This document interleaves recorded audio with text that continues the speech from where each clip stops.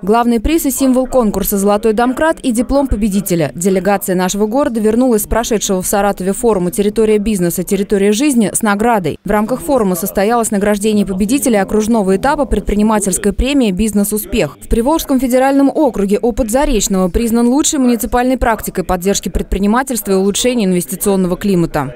Они очень удивились. Э, самое такое у них удивление было, что мы закрыты административно-территориальное образование, да, и у нас э, столько практик внедрено, и они работают. Э, их вызвало удивление, и там основной вопрос был, а как вам удается, например, там не мешает это или помогает, как вам удается все это реализовать в, на закрытой территории?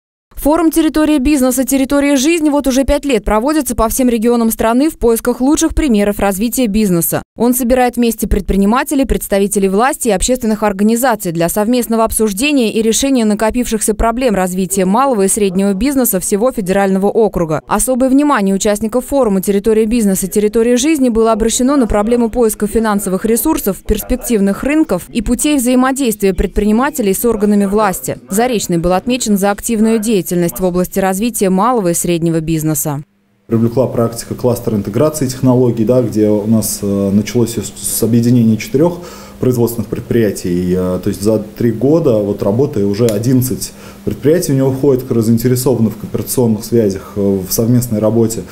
То есть вызвало удивление большое количество предпринимателей, участвующих вот в этих как раз практиках, учитывая то, что это закрытый город. Теперь Заречный представит Приволжский федеральный округ в финальном этапе национальной премии «Бизнес-успех», который состоится в Москве. Главный приз – 1 миллион рублей.